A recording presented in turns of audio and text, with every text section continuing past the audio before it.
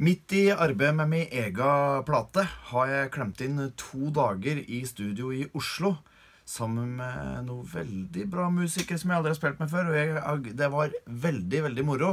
Knut Bjørnar Aspol, gitarist, har skrevet suveren musikk som jeg har spilt inn sammen med Ellen Andrea Wang på bass og Erland Dalen på trommer. Veldig artig. skal er latin som musikk være latin. Ja, Det er dagens store ja, ja, ja. Dagens store nøtt. Er det bossa nova eller samba du vil unngå? Begge deler. Ja, egentlig begge deler. Fint må vi ha frokost, da.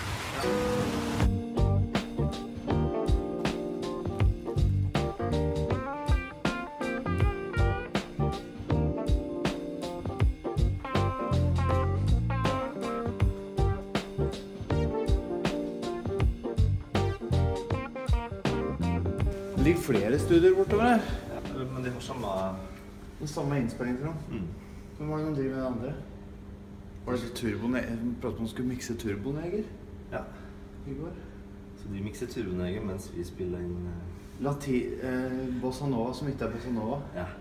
Der, der, der har du, der har du platetittel. Ja. Bossa Nova som ikke er Bossa Nova. Just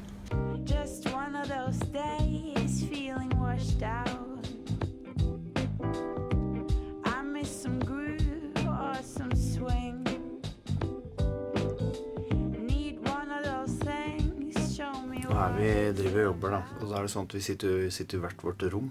Så jeg sitter her. Her sitter jeg og har det koselig. Og så har jeg vinduskontakt med lydmannen eh, bak der. Og ørekontakt, sjølsagt, med de andre musikerne her bortpå. Med et lite headset. Et lite headset som jeg har på meg. Og en liten mikser.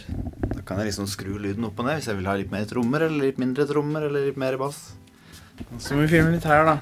Når er det klær er du driver med nå, da? Klipp Du har du sånn derre stang? Ja, stang. Det er voldsomt. Det er eh, jeg, Går du jeg- tur og sånn? Ja, du går tur og dok- dokumenterer hverdagen min. Har du blogg? Jeg har det. Snapper du? Jeg snapper òg.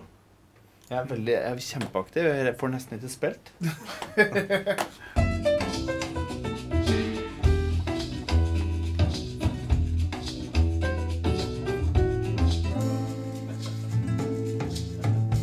Status.